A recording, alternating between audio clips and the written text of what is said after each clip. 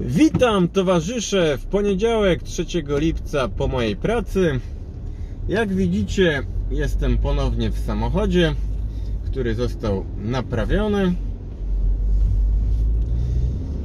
No i na początku chciałbym podziękować za bardzo miłe komentarze, które pojawiły się pod filmem, w którym poinformowałem o rychłym zamknięciu kanału.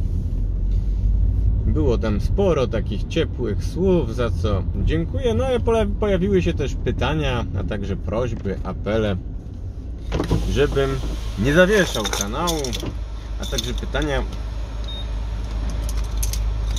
czemu w ogóle to robię. Więc dzisiaj postaram się powiedzieć kilka słów na ten temat. Wydaje mi się, że temat jest na tyle duży, że pewnie będzie na ten temat nie jeden film. Do momentu, zanim ten kanał będzie zawieszony. No dobra. Więc pierwsza rzecz, którą chciałbym powiedzieć, towarzysze, no to kilka słów bilansu tego, co moim zdaniem udało się osiągnąć, a czego nie udało się osiągnąć. Więc yy, zacznijmy może tutaj od tego, czego się nie udało osiągnąć i po co w ogóle kanał powstał. Bo jak zadajemy pytanie, no czemu kanał ma być zamykany, no to najpierw należałoby zadać pytanie, a w ogóle po co ten kanał powstał. No więc kanał powstał yy, z myślą, kontynuowania tutaj strategii leninowskiej, a więc budowania medium teoretycznego, które by spełniało rolę które by spełniało rolę wieloraką, ale także rolę organizatora. Takim pismem właśnie była Iskra. No i na bazie redakcji Iskry powstała sieć kolportażu, żeby taką gazetę właśnie stworzyć, dowieść do Rosji i w tej Rosji rozkolportować, no to musiała istnieć cała sieć. A następnie, następnie tam gdzie te pismy były, tam gdzie ta iskra była kolportowana, tam powstawały jakieś kółka ludzi, którzy tą iskrę czytali, którzy z iskrą się zgadzali. No i tak wokół pisma yy, tworzyła się organizacja, aż w końcu tutaj kilkanaście lat później była silna, zdyscyplinowana partia bolszewicka, która przeprowadziła pierwszą zwycięską rewolucję socjalistyczną w dziejach. Więc, y, więc ogólnie to uważam, że ta strategia jest dobra więc tworzy, tworzyć medium teoretyczne, które, które, które z jednej strony właśnie stara się e, poruszać różne wątki teoretyczne i edukować masy, ale z drugiej no właśnie pełni tę rolę organizacyjną, że sam fakt, że to pismo istnieje, sprawia, że tworzy się jakiś kolektyw, który współpracuje przy, przy tym piśmie. Więc. Yy, no i, no i pierwsza rzecz, jaką należy tutaj ze smutkiem powiedzieć, to że kanał, który prowadzę, no, nie spełnia tej roli nie spełnia tej roli organizacyjnej. I to jest jeden z powodów, dla którego, którego ten kanał zamykam w tej formie. To nie oznacza, że ja kończę, kończę, mm, kończę działalność czy coś, no ale, ale no, dłużej tak po prostu no, nie, nie daje rady, no, bo to jakby w modelu bolszewickim, no to yy, pismo jest tworzone przez ileś, przez cały zespół osób, kolportażem zajmują się inne osoby. W każdym razie pracuje nad tym cała partia, a kanał o komunizmu robi jedna osoba. No. Oczywiście, no, to, że są ciekawe treści yy, na kanale, to mm, dlatego, bo różne osoby zapraszam i, i, bardzo Wam się te spotkania podobają, ale nie zmienia to faktu, no, że, że od kilkunastu miesięcy znowu wszystko robię sam. Yy, I w dodatku nie widzę tutaj nie widzę tutaj jakiegoś, jakichś perspektyw rozwoju, żeby to się zmieniło. Bo gdyby ktoś mi powiedział, dał gwarancję, słuchaj, nagrasz jeszcze tysiąc filmów i będziesz miał kolejne 3000 subskrybentów i wyświetlenia na średnia wyświetleń na filmie zwiększy się, nie wiem, tam o 500 czy o 1000, no to wtedy ilość, ilość zmieni się w jakość i wtedy pojawią się masy, które zaczną Ci pomagać. No. no. ja w to nie wierzę i jak pewnie wiecie, to jest um, taki, no na pewno widzowie, którzy śledzą kanał dłużej, pamiętają, no, że jakiś czas temu istniał portal o nazwie Odrodzenie Komunizmu. Istniał serwer, serwer Discord yy, bodajże o nazwie Sympatycy Odrodzenia Komunizmu. Była tutaj ogłoszono powstanie partii, która była związana z tym kanałem Odrodzenie Komunizmu, Polska Partia Robotnicza. No i przede wszystkim no, kilka osób zaangażowanych w tworzenie portalu było także yy, bardzo mi pomagało w, w, w pracy nad kanałem. Ale to się skończyło. Ale to się skończyło i mm, no i oczywiście to czemu i dlaczego i tak dalej to jest ciekawa rzecz, ale może nie na dzisiaj.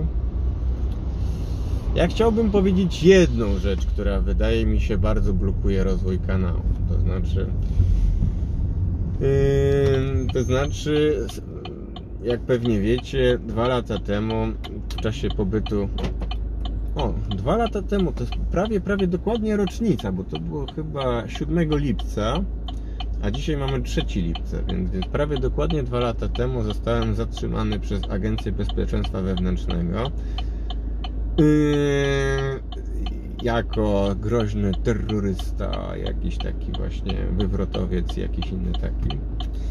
Yy, pod zarzutem, że zaśpiewałem piosenkę na YouTubie. No.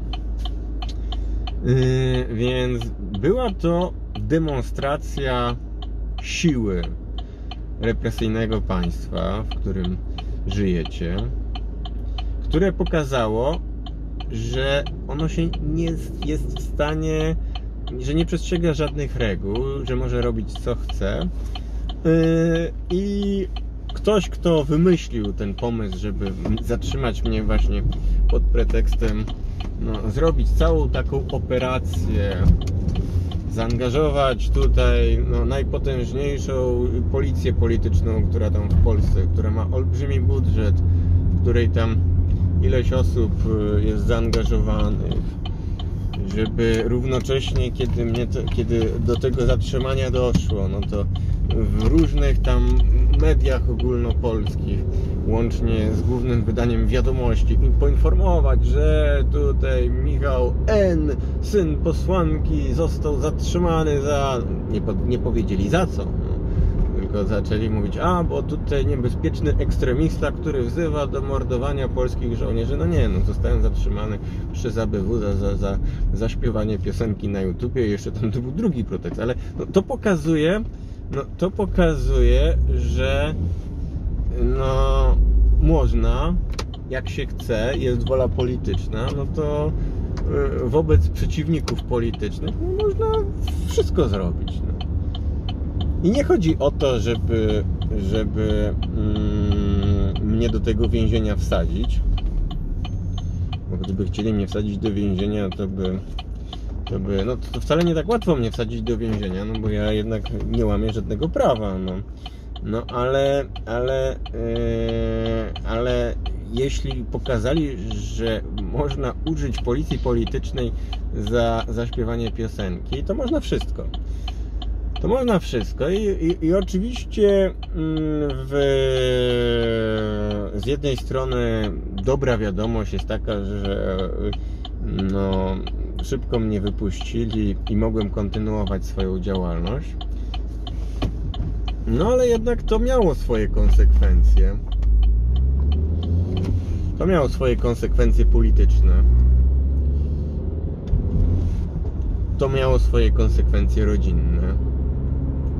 A więc ileś osób jest zastraszonych, przekonanych, że jak tylko wrócę do Polski, to od razu zostanę zamknięty, że będę, że podzielę los Mateusza Piskorskiego. Zresztą tutaj sprawa Mateusza Piskorskiego też miała mo, moim zdaniem właśnie na celu zastraszenie.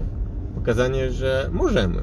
Możemy złamać e, swoje własne zasady, no bo tu chodzi o to, że tutaj no yy, teoretycznie w Polsce tam obowiązuje jakiś kodeks karny, są jakieś procedury, nie wiem, i, i ten, no ale można zastosować właśnie yy, tutaj klauzulę w przypadku Mateusza Piskorskiego, to że tam to właśnie no, tajemnica państwowa, szpiegostwo tego, tamtego i można trzymać człowieka w areszcie i, i go niszczyć. No, na szczęście Mateusza Piskorskiego nie zniszczyli ale, ale yy, tego typu właśnie demonstracja siły no, ma na celu zastraszyć i skutecznie zastraszyła środowiska właśnie yy, z którymi mógłbym współpracować. No.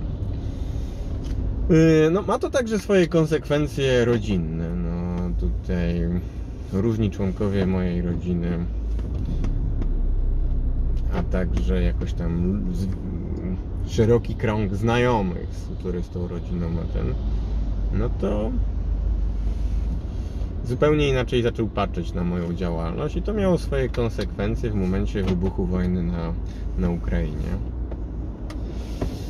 Więc yy, ja śmiało mogę powiedzieć, że już na podstawie tego, co się wydarzyło, no ja jestem ofiarą, ja jestem ofiarą politycznych represji które to represje doprowadziły do zniszczenia jakichś tam struktur politycznych, które chciałem budować, które to represje no, uprzykrzają mi kontakty towarzysko-rodzinne. Yy, tyle i, i tyle, tyle jakby kończąc ten wątek, no bo tutaj zawsze jest jakby mówienie, o komuniści to są ci, którzy tam powodują różne złe rzeczy. No nie, no. E, e, I, że, I mówi się tylko o ofiarach zbrodni komunistycznych. No nie, no, to ja jestem ofiarą. No, ja jestem ofiarą waszych zbrodni. Łama, łamiecie wasze własne prawo. Więc, yy, więc yy, kiedy zadaję sobie pytanie, no a dlaczego właściwie tak mało osób ze mną współpracuje, a te osoby, które współpracowały, to, to się to wykruszyło. Oczywiście jestem. Są różne powody. Są być może jakieś tam różnice polityczne, są być może jakieś tam problemy związane z moim charakterem, coś tego tamtego, no ale to są wszystko rzeczy, które w działalności politycznej no, są czymś normalnym, no, że tam jakieś dochodzi to, to często do sporów, do polemik czy coś tam. No. Więc, więc no, moje tutaj no, hipoteza jest niestety taka, no, że duża część osób yy, boi się współpracy ze mną, traktuje mnie jak trendowatego. I, i przede wszystkim yy, i przede wszystkim yy, mój przykład bardzo negatywnie wpłyną na kondycję ludzi, którzy utożsamiają się jakoś tam z komunizmem na przykład. No bo przykład jest taki, no, słuchajcie,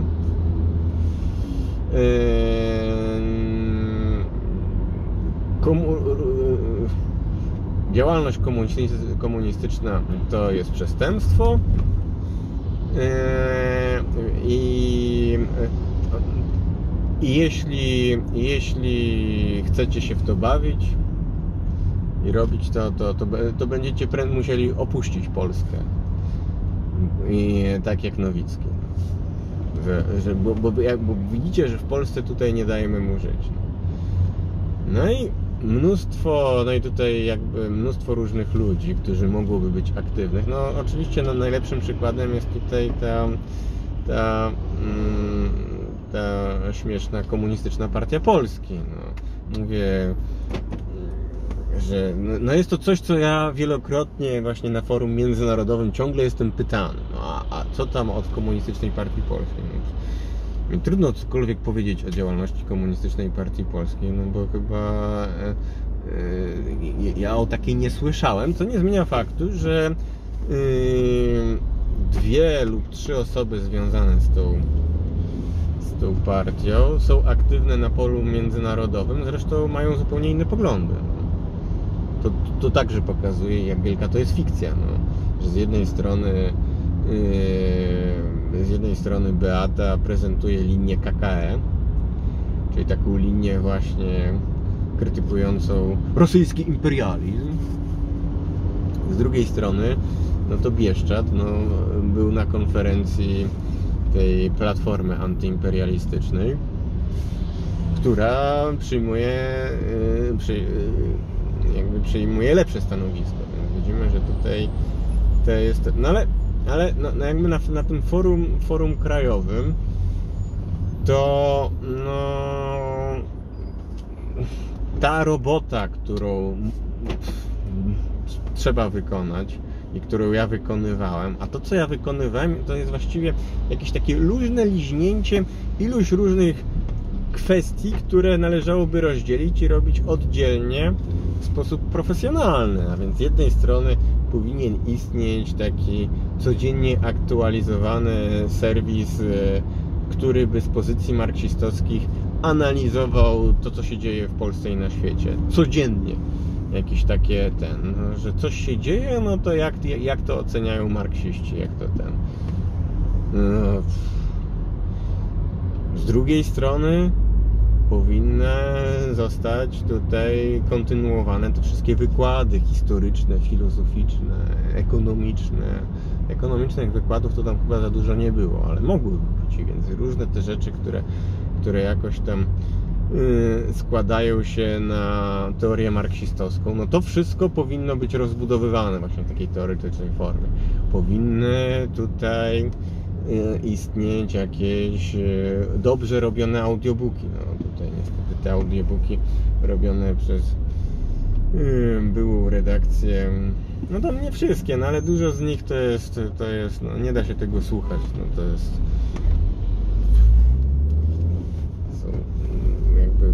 sposób, sposób no,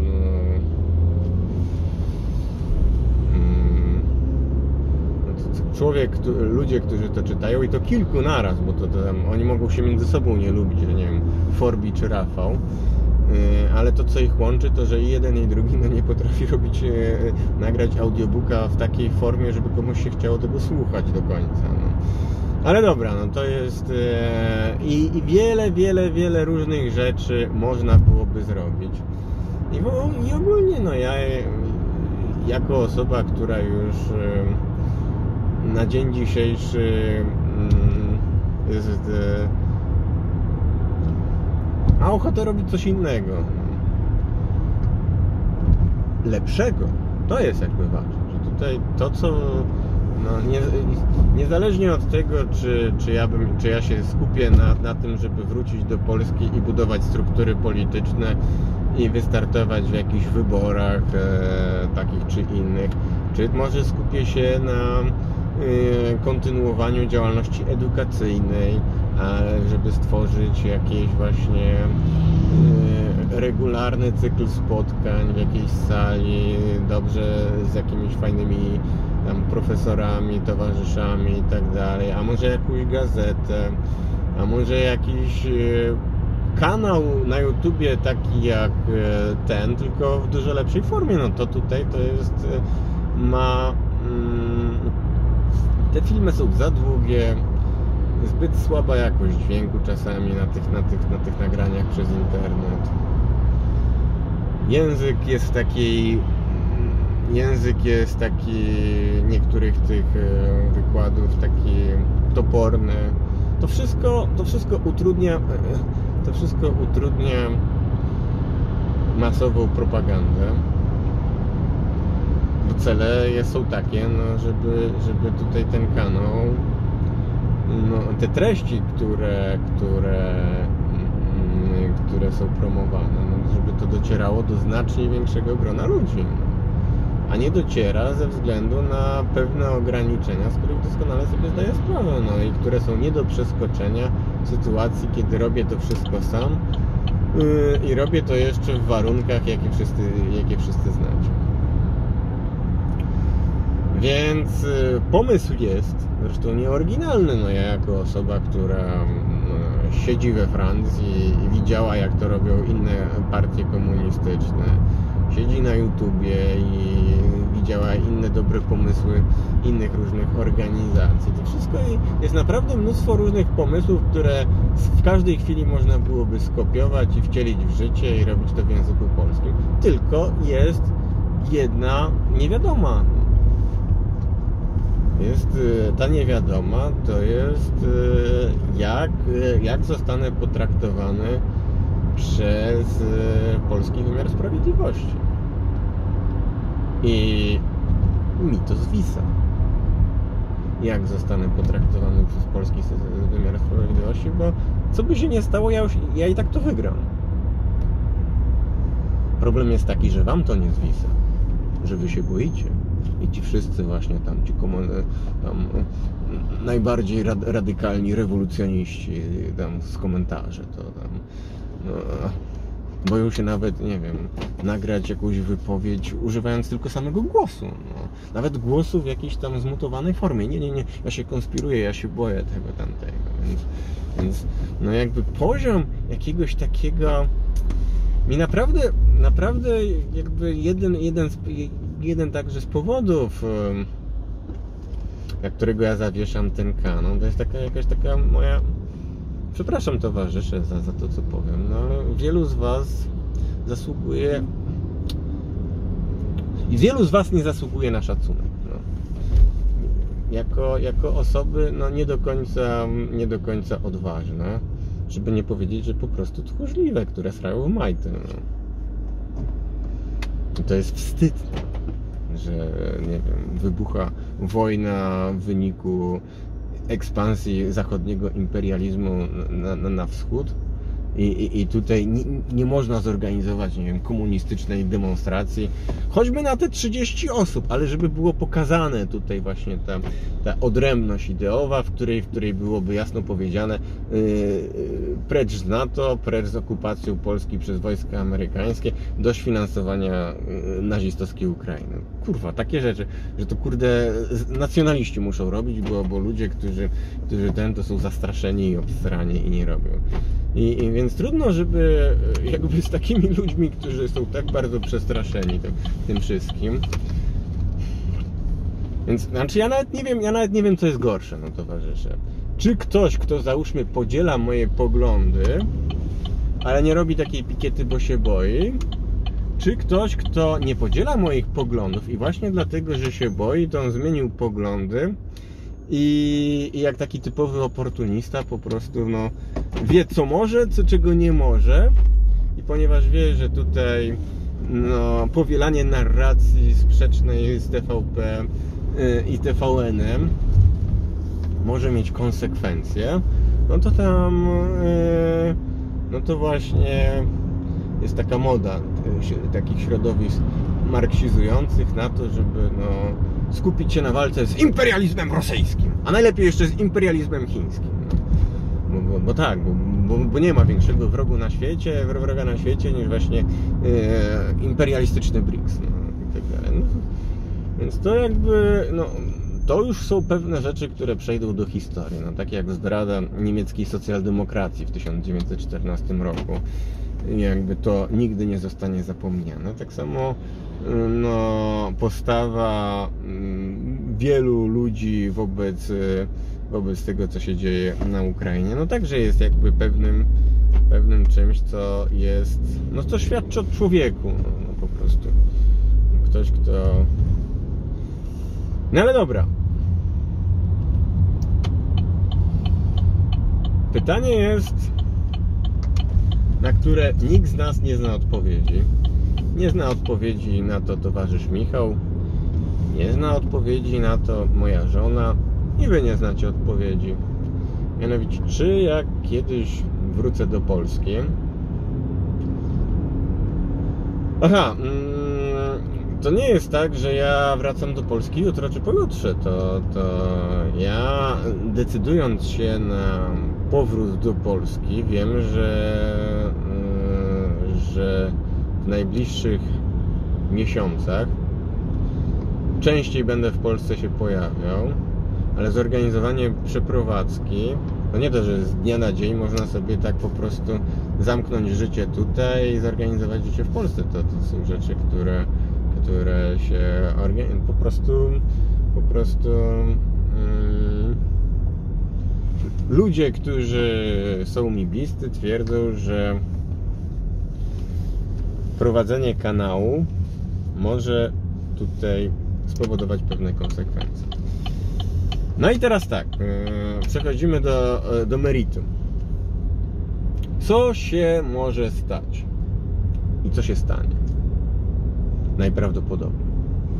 Najprawdopodobniej nic się nie stanie. Mianowicie e, kanał, kanał za kilka dni przestanie być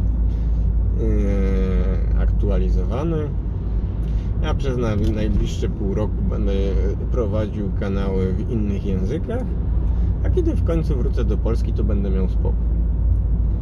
I pies z kulawą nogą się tym nie zainteresuje. I wszyscy ci, którzy tutaj piszą właśnie o, pojedziesz, aresztują cię, pojedziesz i będzie to i tamto. W internecie to, czy w ogóle w mediach, no, po kilku po kilku dniach ludzie zapominają, po, po miesiącu to już jakby nikt nie pamięta. Kanał nieaktualizowany przez pół roku to już w ogóle forget it. Co tam pamięta takie pierdoły, no, że, że, że, że, był jakiś kanał czy coś tam. Więc no prawdopodobnie nic się nie stanie. I jeśli nic się nie stanie, no to to będzie zwycięstwo towarzysza Michała. No bo odczekamy te kilka miesięcy. Patrzymy, patrzymy, no. Czy przyjdą, czy będzie jakiś list, czy przyjdzie policja, czy przyjdzie ABW.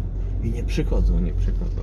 Aż w pewnym momencie będzie można mówić, no to nic się nie stało, no to, to działamy dalej, no. I w tym momencie będzie można ogłosić, że wszyscy ci, którzy przez, którzy przez yy, którzy w ostatnim, którzy cały czas się zasłaniali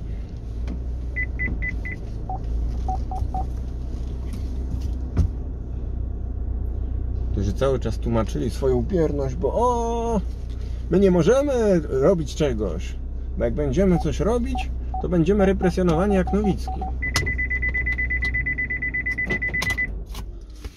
I to jest jakby no, cała, cała właściwie linia, linia polityczna KPP sprowadza się do dogmatu, że kiedy ja, kiedy ja e, przyjadę, no to będę, to będę aresztowany albo, albo będą mnie ciągać po sądach, jakieś tam różne rzeczy i tak dalej, i tak dalej. I oni uzasadniają w ten sposób to, że, że, że nic nie robią na gruncie, nie wiem, szerzenia jakichś myśli czy aktywizowania ludzi. Tym, że słuchajcie, nie można, to nie jest ten moment, bo w Polsce są represje. No. Więc przyjdzie taki moment, kiedy będę mógł powiedzieć, nagrałem 3000 komunistycznych filmów, przez kilka lat wkurwiałem polską burżuazję i kolejne rządy i, i nic. I jestem na wolności. No. Zwycięstwo.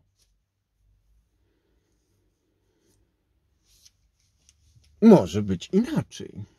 Może być inaczej. Może się okazać, że przyjadę i aresztują mnie i będę miał sprawę sądową. Albo nie będę miał sprawy sądowej. Może mogą mnie aresztować i trzymać w areszcie jak Mateusza Pieskorskiego. Co towarzysz Michał robił w ostatnich latach? No. Po co został stworzony kanał Rebirth of Communism? Po co ja nawiązywałem te wszystkie kontakty międzynarodowe? No właśnie po to, że kiedy zostanę w końcu w Polsce aresztowany, żeby była kampania Solidarności od Stanów Zjednoczonych po całą Europę, po, po Rosję i gdzie indziej. Więc, więc jakby Yy, więc, więc yy, zostanę aresztowany i dzięki temu z jakiegoś tam youtubera awansuję do rangi więźnia politycznego, yy, więźnia sumienia, represjonowanego coś tam. I przede wszystkim to będzie bardzo wielka reklama kanału, no i całej tych, całych tych treści, bo nagle ileś osób, które nigdy o mnie nie słyszało, one usłyszą o mnie właśnie dlatego, że stanę się, że stanę się yy, więźniem politycznym. No. Więc to też będzie zwycięstwo. No. Więc co, co by nie było, to, to jest zwycięstwo. No, przypierdolą się do mnie, będzie zwycięstwo.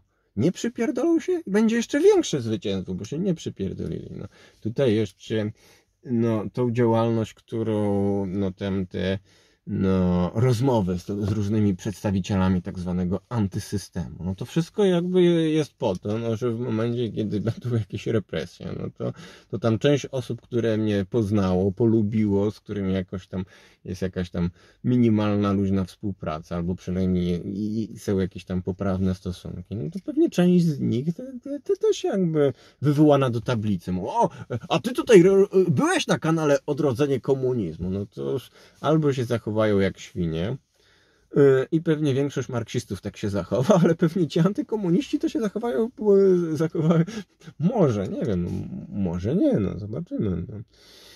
E, e, no, no, no, no, no, w każdym razie, no są to pewne, jest to pewne, mm, no tutaj, tutaj, no, są pewne, jeśli, jeśli się walczy o władzę, to, to, to są konsekwencje, z którymi trzeba się liczyć. E, I nie należy się jakoś tym przejmować czy, czy płakać. No, jest to, mm, jest to jakby dla budowania ruchu masowego i rozpropagowania treści, które tutaj zostały stworzone, no to rozgłos, który może się być, być konsekwencją represji politycznych wobec mnie i tego, że, że gdzieś tam jednak ktoś tam mnie zna i ktoś tam mnie lubi i ktoś tam pewnie się będzie ze mną, ze mną solidaryzował. No, to jest, to jest no, z perspektywy człowieka walczącego o, o to, żeby, nie wiem, zjednoczyć polski ruch komunistyczny, no to ja zostanę naznaczony jak Mesjasz przez, przez tutaj, przez, przez Żarynę i Ziobrę i oni, oni mogą, to, to jest wasz wódz, no. No dobra, może tu nie będę takich słów używał, nie będę was wkurzał, no. Bo ja też jakby, no, widzę, jakie ja mam, mogę mieć zalety jako tam właśnie osoba ten, ale organizator to ze mnie jest kiepski, no, więc tutaj na pewno, na pewno ogólnie, ogólnie, no to pomysł na, na przyszłość jest taki, no, żeby, żeby Yy, niezależnie od tego, co będzie, bo są pewne rzeczy, na które ja nie mam wpływu. Ja nie mam wpływu na to, czy, czy jak ja pojadę, to mnie aresztują, czy nie aresztują. No, jeśli mnie aresztują, to jakby wszystkie plany, które mam, zostaną, zostaną tutaj zmodyfikowane. I jeśli yy, jakiś taki krótki tam pobyt w takim, yy, w takim właśnie zamknięciu, no to nie musi być wcale straszny, bo to ja odpocznę od pracy fizycznej. Yy, jeszcze wyjdę, dokształcę się i mam nadzieję. Chyba, chyba, chyba, że się nie dokształcę i będę terroryzowany, no ale w każdym razie, no co by nie było, no to, to, to można, to można to, to, to można to później przed, przedstawić. Jeśli będą mnie bić i terroryzować, czy coś tam, no, ja mogę nawet prowokować, żeby mi gębę obili, byleby ktoś tam to zdjęcie mi był w stanie zrobić i, i tak dalej. Więc, więc to jest, no jestem takim wrzodem na dupie tego systemu, no, który, który w, jaki sposób nie, nie spróbuje tego rozegrać, no to musi się liczyć z tym, że, że, że mnie wzmocni. No. Yy, więc yy, no ale, ale, ale, ale liczą, jakby ja nie kalkuluję w moich planach tego, że, że będę aresztowany. Raczej zakładam, że nic się nie stanie. Ja tego nie szukam. Yy, ja szukam pieniędzy, towarzysze, więc kiedy w końcu zdecyduję się na przyjazd do Polski, to no ja nie będę pracował w Polsce. No ja w Polsce tam przyniosę swoje graty, tam Mikołaj pójdzie do polskiego żłobka i będę kursował jak miliony Polaków do Niemiec, no, albo do Norwegii, albo gdzieś tam na jakieś krótkie kontrakty. Żeby po prostu no, skupić się konkretnie na wyjazdach po kasę. No nie tak jak dzisiaj, że, że, że, po prostu my mieszkamy tutaj i się integrujemy i, i, też jakby te różne rzeczy, które, które mnie wkurzają, no, że nie, o, bo dzisiaj pracowałem nie wiem, 10 godzin, no i coś tam jakby, jakby jadę na jakiś krótki kontrakt i będą do dobrze płatne godziny, to ja będę, z, mówię, ja mogę robić 12 godzin, 16 godzin, tylko płaccie kasę, bo mi potrzebna kasa. No. moja żona, moja żona już tą kasę wydała, ja jeszcze jej nie zarobiłem, a ona już wydała. No tutaj to, tamto, sram, to, no, znaczy pewnie jakieś kredyty inne będzie trzeba brać. Więc, więc pieniądze są potrzebne i, i, i, i i mogę sobie spokojnie poświęcić ileś tam miesięcy, czy, czy nawet lat na to, żeby zabezpieczyć swoją sytuację materialną, a kiedy to się, a kiedy to, kiedy już nie będę musiał ciężko zapierdalać, żeby przetrwać, to poszukamy jakiejś roboty w Polsce, w bibliotece, tak jak kiedyś, no. Yy, I będę pisał książki. No i, i nie będzie takiej rozmowy jak, te, jak ostatnio te wszystkie wywiady, które prowadzę tam, ja wiem, tam tutaj prowadzę z Tomaszem Rafałem Wiśniewskim, profesorem, a Platon nie przeczytałem. A Hegel, nie przeczytałem. A to, nie przeczytałem. I tak właściwie no, mnie, to, mnie to strasznie dołuje, no, że ja tutaj zapraszam różnych ludzi i są różne fajne książki, których nigdy nie przeczytałem, nigdy na to nie, i nie mam czasu. No, I wiem, że ja w perspektywie najbliższych tam na, nastu miesięcy nie będę miał czasu na to, żeby żeby, żeby właśnie taką marksistowską edukację prowadzić. No. Yy, ale w planach ogólnie mam to, tylko no tutaj trzeba dokonać pewnej pierwotnej akumulacji kapitału, trochę tego kapitału zarobić tam, gdzie, gdzie, gdzie on jest. No. Najlepiej, najwięcej płacą dzisiaj tam w Szwajcarii, w Norwegii, w Niemczech, w kilku innych miejscach. Nawet, we Francji można dobrze zarobić, ale nie, ale nie kurde na, na takiej stacjonarnej robocie właśnie Yy, w Ile-de-France. No tutaj to, tutaj to, tutaj to jest biedowanie. Nie żałuję, bo dzięki temu miałem czas na to, żeby ten kanał stworzyć. Ale widzicie, towarzysze, no to jest forma nagrywany, zmęczony robotnik po pracy w samochodzie do telefonu gada czy coś tam. No, My potrzebujemy profesjonalnych materiałów. Uczmy się od naszych wrogów, uczmy się, nie wiem, od tych kanałów y, związanych z Konfederacją. No jak oni tutaj profesjonalnie robią propagandę na YouTubie. Więc jest naprawdę, naprawdę jest sporo, sporo do poprawienia.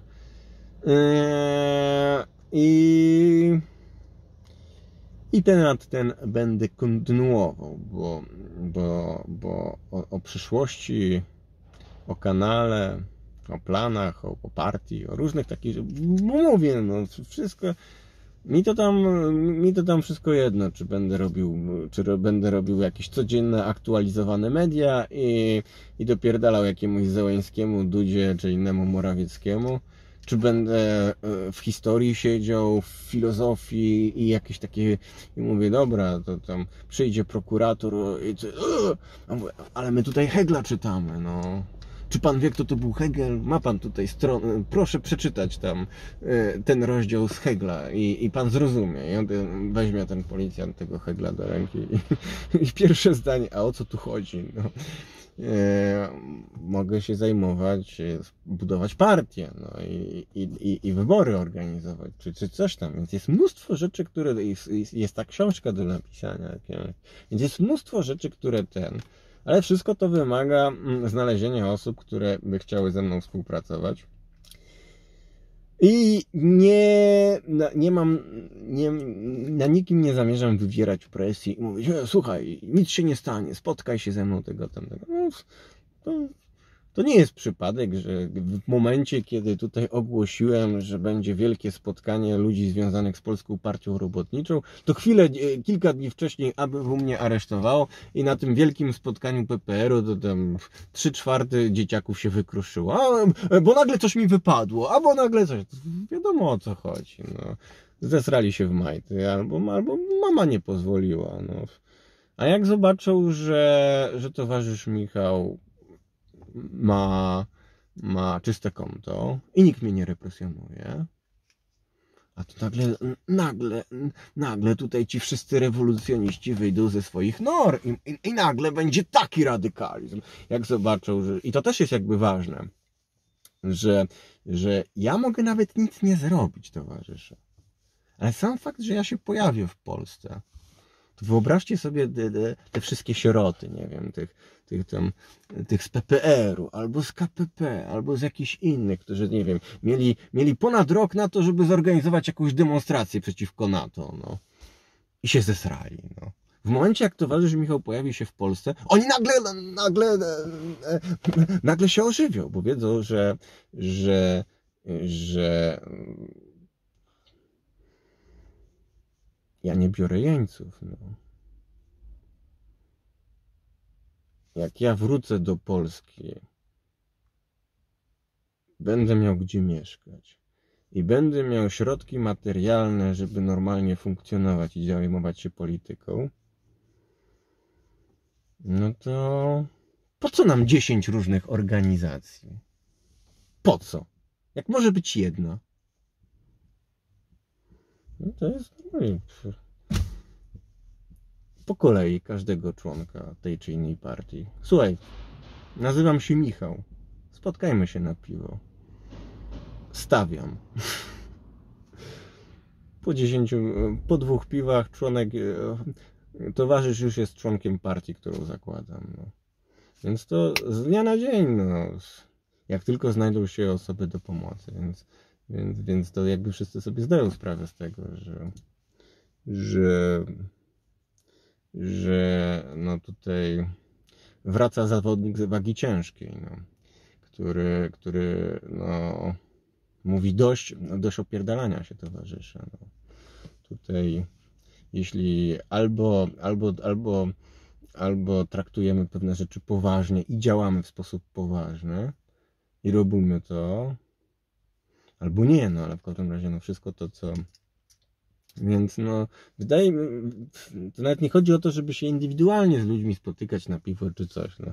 Jak już uznam, że pora wrócić do polityki, no to tak, jednego dnia ambasada, e, pikieta pod ambasadą amerykańską. Wszystko oczywiście dobrze nagrane, oczywiście, e, oczywiście dobrze zorganizowane. Dwa dni później, pod, pod, pod, pod, pod nie wiem, akcja taka, inna, tego, tamtego Dwa miesiące takiego zapierdolu i, wszystkie, i wszyscy ludzie zobaczą, że jedyna, jedyna życie polityczne jest tylko tam, gdzie jest towarzysz Michał. No. A, a wszystko inne to są wirtualne jakieś sekty. No wirtualne internetowe sekty skłócone, e, zajmujące się głównie kłócenie, kłóceniem się między sobą. A tam, gdzie jest jakieś życie, jakaś nadzieja, to, że ludzie właśnie przychodzą, wstępują, działają, że, że wierzą w to, że ta inicjatywa ma sens, no to to jest tam, gdzie, gdzie właśnie pojawia się ktoś, kto, kto daje tą nadzieję. daje tą nadzieję tym, że jeśli ktoś przez wiele, wiele lat zapierdalał w kiblu, Yy, ciągle tutaj kłócąc się z żoną, pozwól mi na te dwie godziny dziennie, żebym ja właśnie tutaj robił te marksistowskie wykłady. I teraz tą energię włożyć w coś innego. Teraz tą energię włożyć na przykład w tworzenie struktur politycznych. Więc, więc no, perspektywy, jakby w, w, kraju takim jak Polska, zubożonym przez kontrrewolucję kapitali, kapitalistyczną kontrrewolucję, gdzie są te sprzeczności właśnie, gdzie cały czas Polacy są zagłębiem taniej siły roboczej. No, nie, nie stworzyć tutaj organizacji, radykalnej organizacji antykapitalistycznej w takim kraju jak Polska, to trzeba nie chcieć. Naprawdę, no po prostu bieda, bieda aż piszczy. Sprzeczności, sprzeczności jakieś różne rzeczy, no ale jak się nie chce, no albo jak się, jak się